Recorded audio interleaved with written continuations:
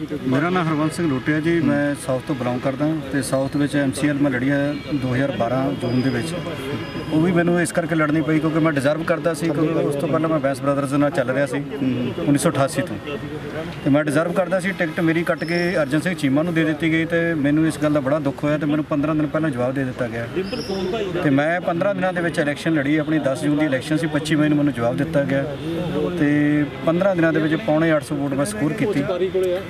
ਤੇ ਉਸ ਤੋਂ ਬਾਅਦ ਜਦੋਂ ਲੋਕ ਸਭਾ ਦੀਆਂ ਇਲੈਕਸ਼ਨਾਂ ਆਈਆਂ ਲੋਕ ਸਭਾ ਦੀਆਂ ਇਲੈਕਸ਼ਨਾਂ ਤੋਂ ਬਾਅਦ ਮੈਂ ਆਮ ਆਦਮੀ ਪਾਰਟੀ ਜੁਆਇਨ ਕਰਦੀ ਤਨ ਮਨ ਧਨ ਦੇ ਨਾਲ ਲੁਧਿਆਣੇ ਤੋਂ ਲੈ ਕੇ ਤਲਵੰਡੀ ਸਾਬੋ ਬਠਿੰਡੇ ਤੱਕ ਪੂਰੇ ਪੰਜਾਬ ਦੇ ਵਿੱਚ ਆਮ ਆਦਮੀ ਪਾਰਟੀ ਲਈ ਕੰਮ ਕੀਤਾ ਕਿ ਆਮ ਬੰਦਿਆਂ ਦੀ ਸਰਕਾਰ ਆਏਗੀ।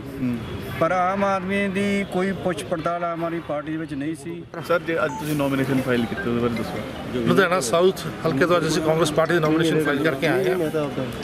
ਤੇ ਕਾਂਗਰਸ ਪਾਰਟੀ ਦੀ ਨੋਮੀਨੇਸ਼ਨ ਫਾਈਲ ਕਰਨ ਤੋਂ ਬਾਅਦ ਸਾਡੇ ਛੋਟੇ ਵੀਰ ਹਰਵੰਤ ਸਿੰਘ ਜੀ ਲੋਟੇ, ਜਿਹੜੇ ਕਿ ਆਮ ਆਦਮੀ ਪਾਰਟੀ ਦੇ ਪਿਛਲੇ 2.5 ਸਾਲ ਤੋਂ ਬੜੇ ਸਰਗਰਮ ਵਰਕਰ ਰਹੇ ਹਨ ਤੇ ਇਹਨਾਂ ਨੇ ਕੌਂਸਲ ਦੀ ਇਲੈਕਸ਼ਨ ਵੀ ਲੜੀ ਹੈ ਵਾਰਡ ਨੰਬਰ 71 ਤੋਂ ਲੁਧਿਆਣਾ ਸਾਊਥ ਵਿੱਚੋਂ।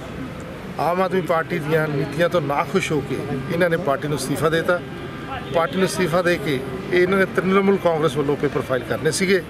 ਪਰ ਕਰਨਲ ਪੰਨੂ ਸਾਹਿਬ ਦੇ ਇਨਫਲੂਐਂਸ ਦੇ ਨਾਲ ਕਾਂਗਰਸ ਪਾਰਟੀ ਦੀ ਇਹਨਾਂ ਨੇ ਇਹਨਾਂ ਨੇ ਸਪੋਰਟ ਕਰਨੀ ਚਾਹੀ।